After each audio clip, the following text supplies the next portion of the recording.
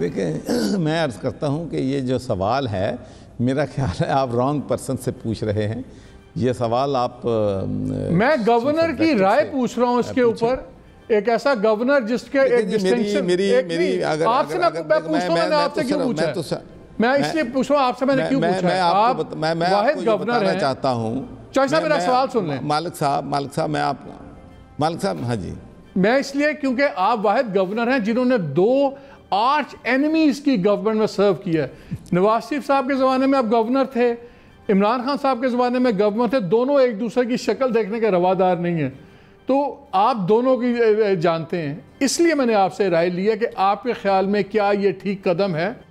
देखिए, मैं सिर्फ़ अपनों का, आपको टोबा टेक्सिंग से चूँकि मेरा तल्लक है, और मैं टोबा टेक्सिंग के हवाले से आपको ये बात बताना चाहता हूँ कि टोबा टैक्सिंग का नाम तब्दील करने की बारहा कोशिशें हुई।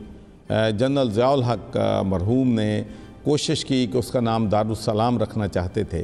लेकिन टोबा के लोग ये समझते थे कि वहाँ पर जो टेक सिंह है, उसकी खदमात हैं, वहाँ पर लोगों को पानी पिलाता था, लोगों की रहाइश का बंदोबस्त करता था, इसलिए हमने उसका नाम जो है वो तब्दील नहीं करने दिया। तो मैं तो जो नाम पहले भी तब्दील हुए हैं, मेरी ये सोच है कि हमने जह लाइल पर था उसको फैसलाबाद कर दिया मिंट गुमरी था उसको साहिवाल बना दिया।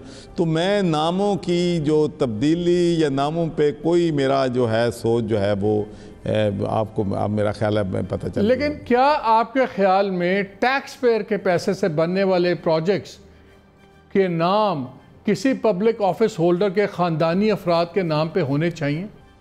देखिए, मैं पहले भी मैंने अर्ज़ किया है, मालिक साहब, आप मुझसे इस बारे में, मैंने अपनी जो सोच है, मेरा ख्याल है जो मैंने आपने सवाल किया है और मैंने टोबा टैक्सिंग के हवाले से जो बात आपसे की है तो मेरा ख्याल है वो काफ़ी होना चाहिए। अच्छा चौक साहब, एक बात बताएँ, अब टोबे पे आप चले गए हैं तो फिर मैं मैं भी टोबे में जाऊँगा, आप पे एक एतराज़ आ रहा है।